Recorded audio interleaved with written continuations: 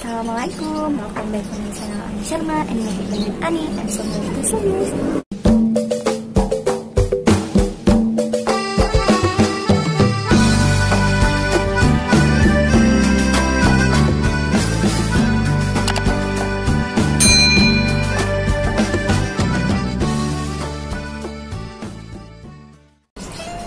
Oke, kali ini aku bakal bikin video yang sekarang banyak banget jadi teror buat aku guys. Kenapa jadi teror? Ya karena posisinya di sini sekarang aku juga lagi mikirin pekerjaan aku di Jakarta dan ada yang dari mereka pengen minta bantuan tapi nyolot gitu ngerti nggak sih guys? Ya aku sebagai teman kerabat atau teman sosial biasa aku nggak keberatan ngebantu kalian semampu aku gitu kan tapi ya lihat kondisi aku dulu. Kalau misalkan aku free time aku bakal bantu kalian semampu aku gitu tapi kalau misalkan aku lagi sibuk aku mohon maaf gitu. Tolong please dan aku di sini kalian nggak tahu gitu. Tolong dong. Ih kok lama banget sih? Kok nggak keluar keluar sih? Kok pendaftaran aku nggak bisa sih? Kayak aduh ya ampun. Jujur aku di sini tuh aku harus jaga imun aku gitu. Kalau misalkan aku terlalu banyak pikiran aku terlalu stres daya tahan tubuh aku itu kayak menurun gitu. Kalian juga paham kan kalau misalkan sekarang lagi pandemi begini terus aku please banget aku mohon banget sama teman-teman aku tolong ngertiin aku kalau misalkan kalian pengen dibantuin tolong ngertiin juga buat aku gitu kan. Dan kali ini aku kayak oh salah satu cara aku membantu banyak orang itu ya aku bakal bikin video. Nah itu kalian tinggal lihat aja tutorialnya gimana terus caranya gimana dan aku bakal ngejelasin sedetail-detailnya kali ini ya. Tapi sebelum itu aku bakal ngasih tahu ke kalian syarat buat mendaftar kartu prakerja itu apa sih? Soalnya banyak banget yang nanya sama aku dan itu posisinya dia lagi kuliah lagi dalam masa pendidikan. Nah, ntar aku bakal ngejelasin ke kalian syarat-syaratnya gimana aja ya. Langsung aja kali ini kalian simak baik-baik persyaratan untuk mendaftar kartu prakerja itu apa. Oke? Okay? Let's go. Nah, aku udah merangkum semua persyaratan buat mendaftar kartu prakerja. Udah rangkum di sini. Kenapa aku tulis? Karena aku takut kelupaan dan itu salah satu masalah yang bakal terjadi kalau kalian daftar kartu prakerja tapi kalian nggak tahu persyaratannya persyaratan pertama itu adalah warga negara Indonesia. Tuh jadi KTP kalian itu harus asli warga negara Indonesia ya guys. Nah, yang kedua itu persyaratannya adalah kalian harus berusia 18 tahun ke atas. Kalau misalkan uh, kalian pengangguran tapi umur kalian masih di bawah 18 tahun itu nggak memenuhi kriteria ya. Nah, yang ketiga ini tidak sedang mengikuti pendidikan formal atau kuliah.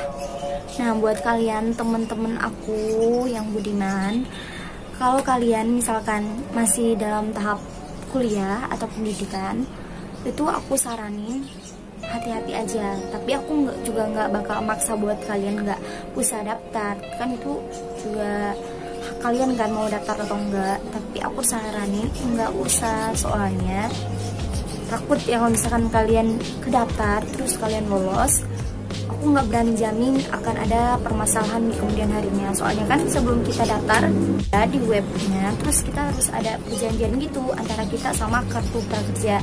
Bener nggak kita memenuhi kriteria tersebut? Karena biasanya yang dipilih itu orang yang di PHK terus orang yang uh, kerja tapi gajinya itu separuh seperti keadaan yang di Jakarta sekarang.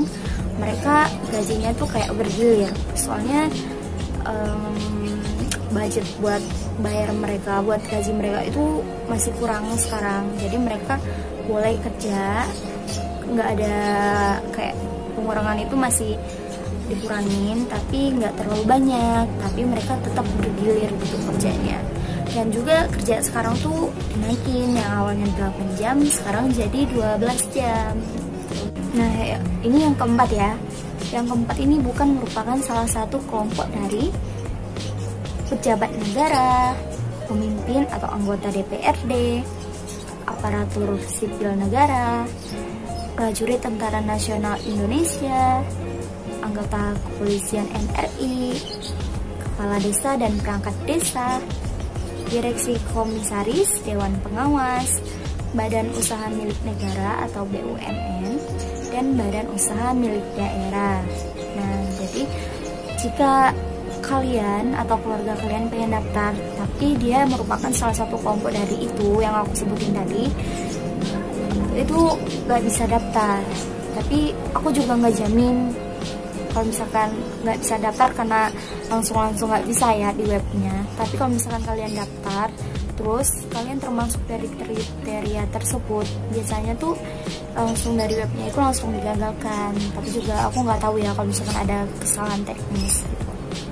nah yang kelima bukan sebagai penerima bantuan sosial dari pemerintah pusat seperti program keluarga harapan PKH bantuan pangan non tunai BPNT program kartu sembako bantuan langsung tunai atau BLT nah jadi kayak kalau kalian tuh jadi ini kalau BLT tuh data kalian tuh udah termasuk dalam uh, penerima bantuan langsung tunai. Jadi biasanya kalau didata sama daerah sama dari pihak kecamatan, kelurahan, kalau misalkan uh, nama kalian ada di dalam bantuan langsung tunai kalau misalkan benar-benar atau benar-benar sejujur-jujurnya itu didata terus nama kalian ada di bantuan langsung tunai biasanya kalian udah nggak dapet.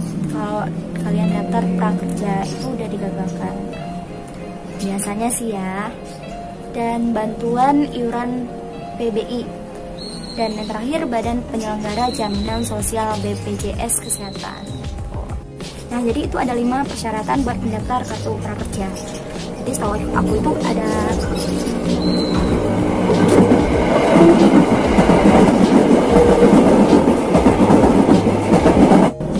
Jadi itu adalah lima persyaratan buat mendaftar kartu prakerja. Jadi buat kalian yang gak suka sama pendapat aku, yang gak percaya sama apa yang aku omongin tadi, apa yang aku beritahu sama kalian tadi itu hak kalian sepenuhnya. Kalian mau percaya atau enggak sih? Ya nggak apa-apa. Kalian mau ngikutin aku atau enggak sih? Juga nggak apa-apa gitu. Kalau misalkan kalian, kalian juga dari mahasiswa atau kalian masih dalam pendidikan formal itu kalian coba daftar sih. Aku juga nggak apa-apa. Soalnya aku bukan dari pihak prakerja. Tapi kalau misalkan di kemudian harinya nanti ada permasalahan soalnya kita juga terikat kayak perjanjian gitu sama pihak prakerja gitu.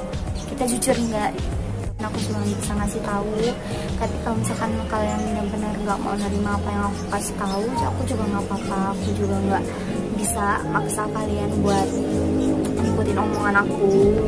Karena emang itu hak kalian kan tapi kalau memang bener-bener kalian posisinya bener-bener kalian butuh uangnya kalian dari benar-benar dari keluarga yang emang butuh sih nggak apa-apa. Kalian bisa langsung aja daftar gitu. Oke. Okay. aku nggak ngechat siapa pun di sini ya. Aku cuma mau ngasih tahu. Soalnya kita emang butuh sekarang tuh emang benar-benar kita harus ngasih tahu yang benar. Lah ya nggak gitu? Aku emang benar-benar butuh nggak uangnya gitu? Kalau cuma sekedar buat makan bakso di warung sih sebaiknya jangan gitu. Oke. okay harus be smart kita harus berpikir positif. Dan sekian videonya dari aku. Semoga bermanfaat. Dan semoga kita ke depannya bisa menjadi pribadi yang lebih baik lagi buat diri kita dan buat orang lain. Oke thank you for watching my video. Dan jangan lupa like, comment, and share. Dan nanti aku juga bakal bikin tutorialnya buat cara dari tahap pertama, tahap kedua, dan sampai kalian mendapatkan insentifnya. 땡큐 땡큐 땡큐